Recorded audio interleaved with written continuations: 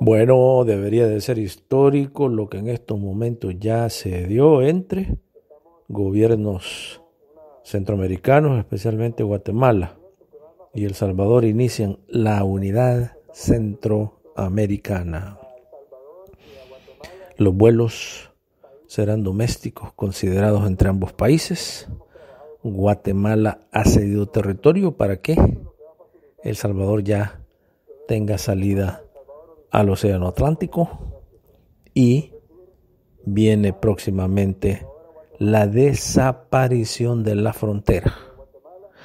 Pueblos centroamericanos a tomar la iniciativa de estos dos gobiernos y a seguir con Honduras, a seguir con Nicaragua, a seguir con Costa Rica y a terminar con Panamá y hacer una sola nación, como la han soñado algunos grandes centroamericanos como Francisco Morazán.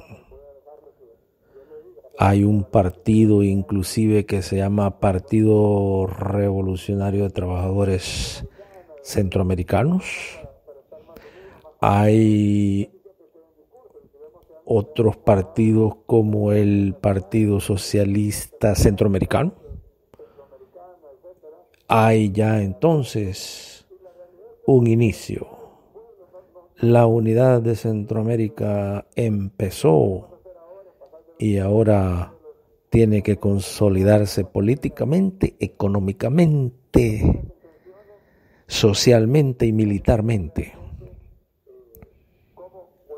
Otros países tienen que unirse ya a El Salvador y a Guatemala para una Centroamérica única, una Centroamérica unida, un solo país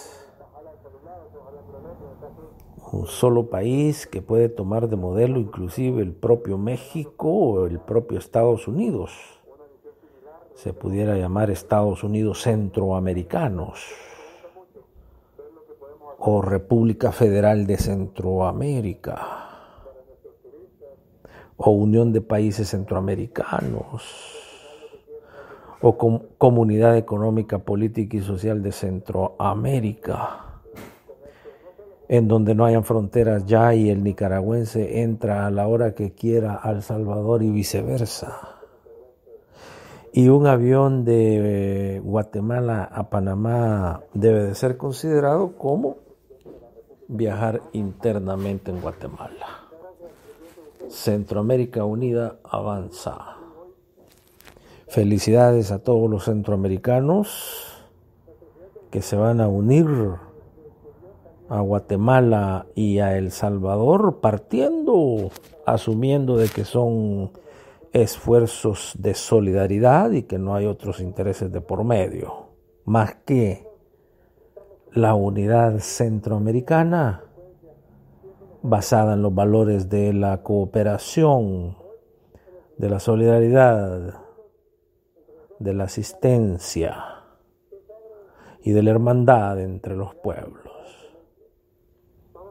La Centroamérica Unida ya va a competir a otro nivel. Centroamérica pudiera ser parte ya de las naciones desarrolladas con esta unidad.